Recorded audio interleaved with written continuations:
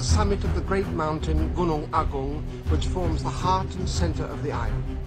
And yet, by a tragic paradox, Gunung Agung is a volcano.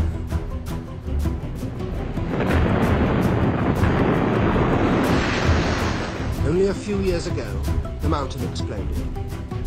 Lava poured down its flanks in an irresistible and lethal flood. People took flight before it, stunned and mystified that their god should have turned against them. In some way, it seemed, they must have unknowingly offended. The lava swept towards them, turning rivers to steam before their eyes.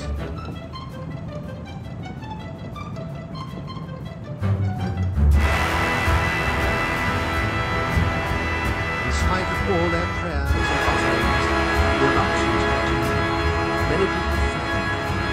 others stayed in their villages, believing that if they had indeed offended and could not atone with prayers and offerings, then they had better accept their fate. Two thousand died.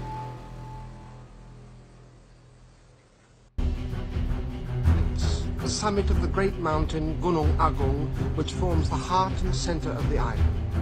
And yet, by a tragic paradox, Gunung Agung is a volcano.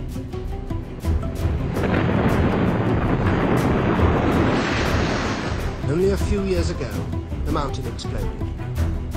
Lava poured down its flanks in an irresistible and lethal flood.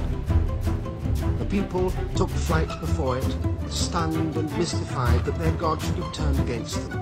In some way, it seemed, they must have unknowingly offended.